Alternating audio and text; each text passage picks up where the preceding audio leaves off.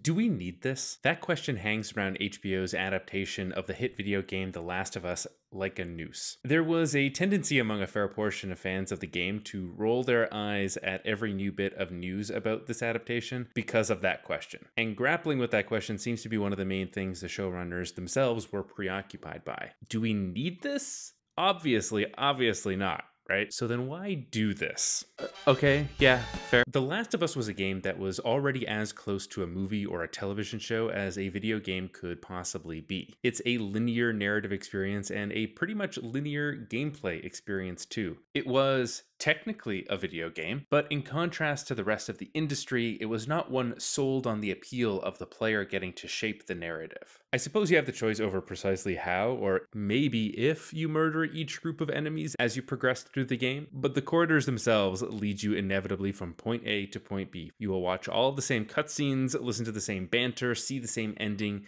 as anyone else who plays the game. It actually kind of melted people's brains at the time because of just how much it went against the grain of what so many other major video game publishers were doing in 2013. In an era where so many other games let you do a choose your own adventure, pick blue for boring, pick red for psychopath style gameplay. This sequence at the end of The Last of Us was legitimately surprising, in that it uses all of the conventions of those kinds of games and leads up to a moment where you expect to have a choice only to not have a choice. Joel kills the doctor. Joel always kills the doctor. It's a linear experience, and not for nothing, a good one. So why do this?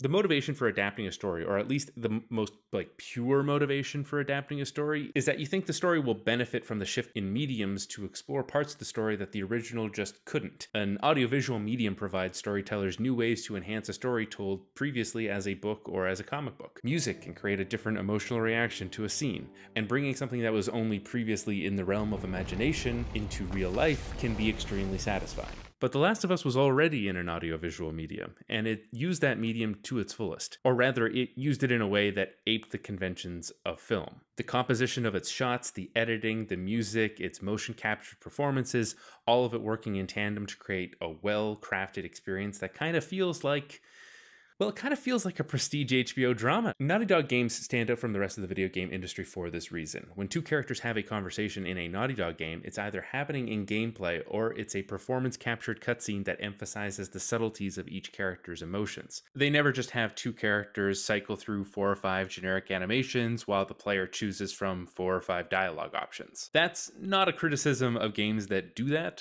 but an observation that those games want you to feel like you're interacting with the story story, while The Last of Us wants you to feel like you're watching a story. The Last of Us did all of this extremely well, pretty much better than any other video game. It created dozens and dozens of really effective moments between characters that have stuck in my mind for a decade. You're not my daughter. And I sure as hell ain't your dad.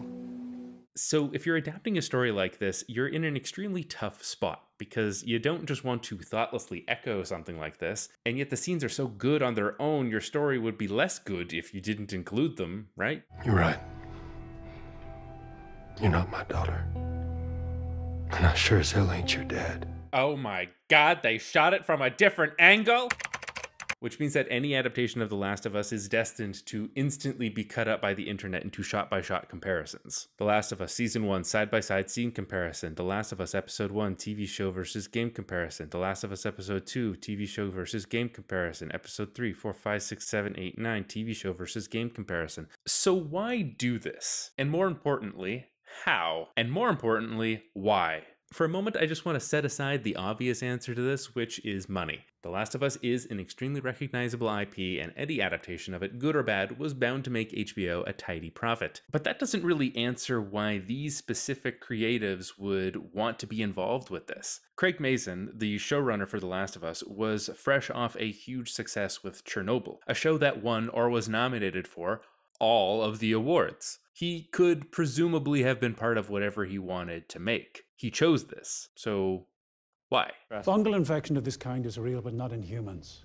True, fungi cannot survive if its host's internal temperature is over 94 degrees. And currently, there are no reasons for fungi to evolve to be able to withstand higher temperatures. But what if that were to change? What if, for instance, the world were to get slightly warmer? Unlike the game, the TV show opens with a lengthy interview scene between a TV show host and a pair of doctors, which, in my mind, immediately seeks to answer the question at the top of this video. In the scene, one of the doctors outlines how a fungal pandemic could be orders of magnitude worse than a viral pandemic. He explains how the fungi could burrow into people's brains and turn them into puppets, handling a bunch of the world building for the rest of the show. But he also reframes the central catalyst of the apocalypse from what it was in the game tying it directly to climate change. That Craig Mazin would do this is not that surprising when you compare this to what he did in Chernobyl. Like, yes, that show is about telling a story around the Chernobyl nuclear disaster, but it's not just about that. It's about climate change. Hot take, guys Chernobyl had climate change themes. Institutions repeatedly ignored the warnings of an environmental disaster because of their own political agendas, and then in the midst of the crisis, attempted to continuously downplay how bad things could get, but nuclear radiation doesn't care about international politics or what's happening inside the Kremlin, so, you know, can we please deal with this thing before it kills us all? In The Last of Us video game, there was no explanation for the apocalypse. It was just something that happened. But I think you can make a compelling case about the original Last of Us that while it is never explicitly stated to be about climate change, that it was subtextually about climate change. It's a game where most of the settings are urban environments that have been reclaimed by nature, where the main enemies are a kind of fungi, and where the central themes are all about pitting individual needs against what is good for society as a whole. A theme that has some extra resonance when seen through the lens of climate change. In the show, a guy just says it. What if the world were to get slightly warmer? He just tweeted it out. And it's in this way, this method, like not just this scene, but this way of doing things, that the show justifies its own existence. If it can't tell the story of The Last of Us better than The Last of Us already did, then it can at least tell the story more explicitly. It can make the subtext text. I want to make a distinction here for the kind of subtext I'm talking about. I'm not talking about what we could call conversational subtext. So, in many a well written scene in both versions of The Last of Us, two characters are talking to one another, and because they are human beings and not robots, when they say things, they don't always say everything they mean. So time heals all wounds, I guess. It wasn't time that did it. Joel's puppy dog eyes fill in the blanks of what his words imply. The text is it wasn't time that healed his trauma. The subtext was that it was meeting and bonding with Ellie that healed his trauma. Both versions of the story have moments like this which are very good because both versions are very good. So when I say HBO's The Last of Us turns the subtext of Sony's The Last of Us into text, I don't mean everyone starts saying what they mean literally. I'm talking more about the themes and plot points that the game originally left ambiguous. Cordyceps mutated. Some of it got into the food supply, probably a basic ingredient like flour or sugar. Example number one Joel and Tess. Now, if you're a freak, Like me. when you're playing the original game, there were probably a bunch of times during scenes with Joel and Tess when you thought to yourself, they fucking. Come on. Make this easy for me. Canonically, the answer is probably. Probably. Like, pro- probably. De- not definitely, but, but when you watch the show, one of the first times you see them together is they're together. In the original game, there was something ambiguous that players wondered about, and now, in order to give this new version of the show some kind of identity that is different from the game, but which doesn't outright contradict the game, the show gives a solid textual answer to that thing that was previously ambiguous. Example number two communism. Hey, isn't it kind of funny that in the post apocalypse, the healthiest, most productive, most just and safe place in the entire game is kind of anarcho communist? Like Tommy and his pals over here are communists, aren't they? And isn't it, you know, doubly funny that we put this location in Jackson, Wyoming, the state with the heaviest Republican lean in the country? 20 years of apocalypse turned all these macho conservative cowboys into Mikhail Bakunin? Well, uh, in the show, Everyone pitches in. We rotate patrols, food prep, repairs, hunting, harvesting. Everything you see in our town, greenhouses, livestock, all shared. Collective ownership. So, uh, communism.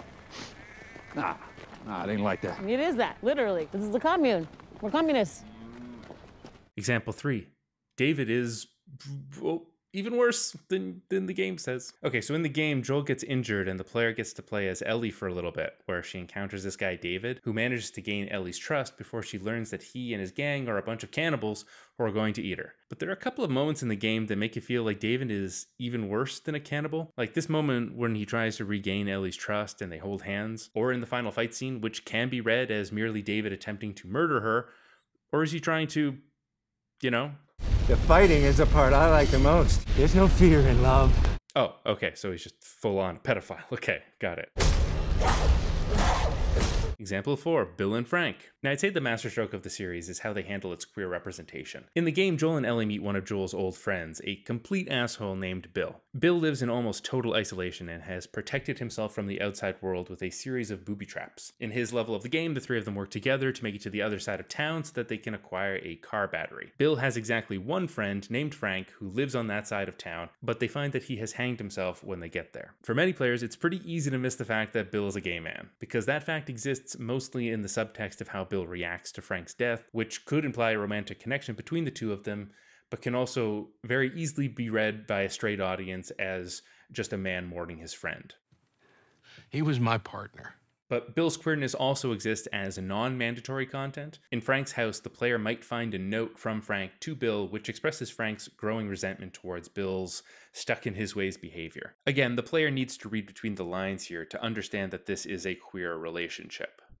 I'm sure your friend will be missing this tonight. Mm-hmm. The only tangible piece of evidence of Bill's homosexuality is when Joel and Ellie are driving to Pittsburgh and Ellie starts looking at a magazine she got from Bill's house, which is a male porn magazine. In each case, it does require the player to think about what they're seeing in order to come to the conclusion that Bill is gay. Now, this is all a bit problematic. The fact alone that Bill's queerness is hidden to this degree is worth criticizing. And it was. Like in a game, which again was almost entirely linear, the one important character detail that's consigned to optional content or blinking you'll miss it story beats being the pieces of evidence that let you know that there's a queer relationship going on here at all is not exactly what you'd call good queer representation. It's the kind of representation that is slipped in so that it's not noticed by most heterosexual audiences. Because that way the game avoids a reactionary backlash, I guess. But uh, come on, is that really something to worry about? Oh, yeah. I, I, guess so. Now, arguably, this moment of queer representation is better than nothing, but the showrunners wisely understood that they had to do more than this in the adaptation. So, in the third episode of the show, they raised the queer subtext to queer text. It's the biggest narrative departure from the game by far. The writers craft an entire episode that is almost completely separate from Joel and Ellie's journey, telling a positive, impactful story about Bill and Frank falling in love with one another. It's a very good episode, but it's also a little irritating that in order for them to tell a good queer love story, it seems it has to be entirely sequestered away from the rest of the narrative. So, what are we to make of all these decisions? In the case of the Bill and Frank episode, the show adds so much more to the story than anyone expected that it sort of ceases to be an adaptation of The Last of Us and more of a standalone one hour movie that happens to cross over with The Last of Us. With that exception, though, the general strategy of raising the subtext up to the level of the text is pretty much the only way that this adaptation is able to establish its own identity separate from the game. But are these really ideal changes. I sometimes felt while watching the show that I was less watching HBO's Last of Us than I was reading Craig Mazin's PhD level thesis on The Last of Us. The Last of Us Climate Change and the Decay of American Community. The Last of Us Queering the Post Post Apocalypse. The Last of Subtexts. Oh, wait, that's mine. In calling out all of the subtext of the original story, though, HBO's The Last of Us doesn't have much subtext of its own. All of its mysteries are thoroughly explained, all of its character relationships explicitly detailed. And I don't know, it's it's fine or whatever, but like, do we need this? One of the things I love about The Last of Us is its unique world building. All these interesting fungal creatures in a world with different factions. It's just a well realized post apocalyptic story. For me, world building is one of the most enjoyable parts of writing, and if you're a writer who needs a little help organizing their ideas, then I recommend checking out World Anvil, the sponsor of this video. World Anvil is an award winning toolset used by millions of writers that helps you to create, store, and organize the setting for your world. You can track timelines, family trees, diplomatic relationships, and more. For me, the hardest part of world building is keeping all of the different elements connected to one another. And in World Anvil, you can link from one idea to the next pretty easily. It's a great solution. To get your next story organized, you can check out World Anvil right now absolutely free. For a limited time, you can also receive 40% off any annual membership by using the code JUSTWRITE. 40% off? Wowee, thanks Sage. No, thank you, because using that code supports this channel, wouldn't you know it? Once again, that's code JUSTWRITE for 40% off any annual membership. A big thank you to all of my patrons for supporting me on Patreon, including Michael Moss, Mitch Macarat, Zachary Gidding, and Dog Best Dog. If you want to help me make more videos like this one, then head over to patreon.com slash justwrite. And keep writing, everyone.